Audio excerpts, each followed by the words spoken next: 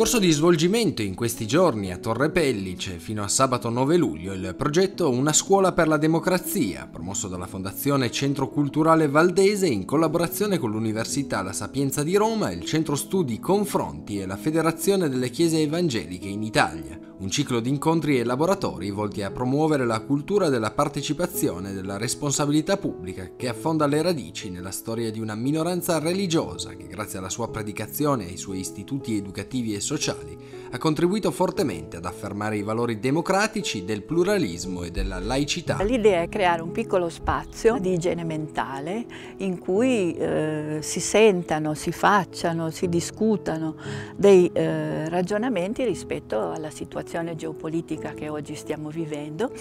eh, ma anche alle, alle prospettive e eh, al piccolo contributo che possiamo dare noi, perché la tradizione protestante è stata foriera di valori della modernità, per esempio la tolleranza, per esempio eh, l'idea di libertà, la non gerarchia nel, nel, modo di gestire la propria istituzione. La situazione, dire, geopolitica internazionale eh, ci porta in dimensioni sovranazionali. Questa trasformazione capitalistica basata sull'informatica, basata sui sistemi bancari, basata sulla trasparenza eh, del, dei poteri, implica per chi vuole capire come va il mondo delle nuove categorie di comprensione sia sul piano collettivo che sul piano soggettivo. La promessa di questa scuola è che le democrazie sono come delle piante che devono essere nutrite eh, devono essere concimate, bisogna eh, guardarle con attenzione in tutta la loro crescita. Perché? Perché possono ammalarsi e talvolta la malattia di una democrazia non è immediatamente percepita.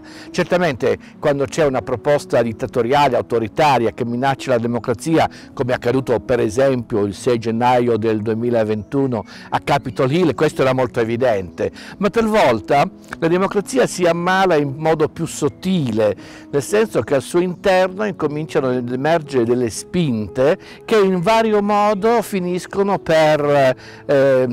determinare una sofferenza della pianta e perfino questa pianta può morire. Io credo che sia stato importante che il Centro Culturale Valdese con la rivista Confronti, la Federazione delle Chiese Evangeliche in Italia, il Collegio e altri soggetti insieme abbiano deciso di dare vita a una scuola. Il termine scuola è intenzionale perché è davvero un luogo nel quale si apprende, si discute, ci si confronta con un metodo che è un metodo anche molto rigoroso. E quindi anche un servizio che nasce e che continuerà nel tempo perché questa scuola non chiude domenica quando i corsi formalmente finiscono, ma intende continuare la sua attività di ricerca con dei laboratori che speriamo di realizzare nelle scuole, da qui un progetto che parte sicuramente da un luogo emblematico come Torre Pellice, ma che ha una vocazione nazionale. Nella giornata di mercoledì 6 luglio il tema al centro del dibattito è stato il rapporto tra democrazia e populismo, con la partecipazione della professoressa della Cabot University di Roma, Pamela Harris, e del politologo Luca Jaillet.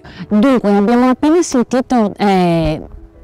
dello sviluppo del linguaggio del populismo, soprattutto nell'esperienza europea, in cui il populismo è, è, è visto molto nettamente come una, una, perversione della democrazia, una maledizione della democrazia. E ora io andrò a parlare sul populismo negli Stati Uniti che c'è una storia ben diversa, nel senso che la nostra Costituzione non è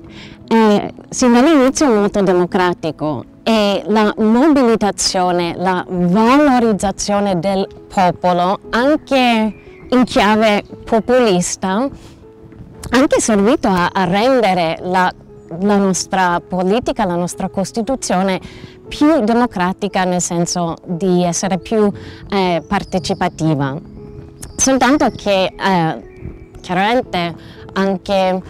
fra noi è la linea tra un populismo espansivo e, e quello che abbiamo ora è, è molto importante. E da, solo da, da 5-10 anni negli Stati Uniti riusciamo a inquadrare il termine populismo come un fenomeno profondamente anti democratico che ci ha portato a una situazione in cui la nostra democrazia è gravemente minacciata e, e quello che vedremo oggi non è soltanto di interesse folcloristico ma è, è una minaccia di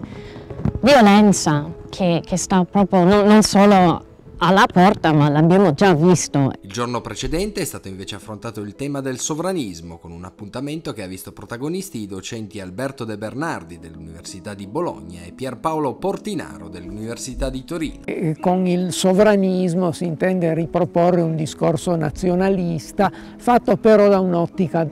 che accentua molto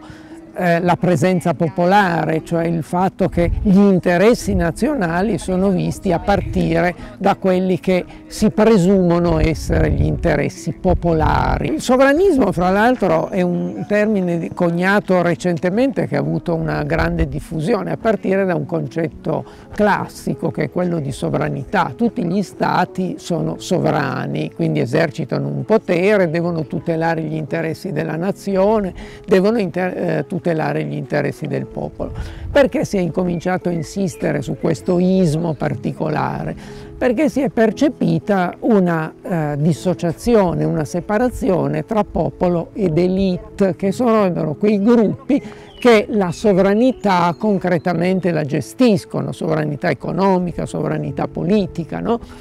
Ehm, e questo è effettivamente un problema reale che la globalizzazione ha accentuato, ha reso manifesto. La percezione di questa distanza, di questo allontanamento eh, tra popolo e elite, quindi questa virulenza della critica nei confronti dell'elite ha generato, ha generato questa eh, richiesta di eh, sovranità, cioè fatto che il popolo possa eh, ritornare ad essere la voce dominante eh, all'interno di un processo che chiamandosi democratico vuole attribuire il kratos, cioè il potere, al demos, cioè al popolo.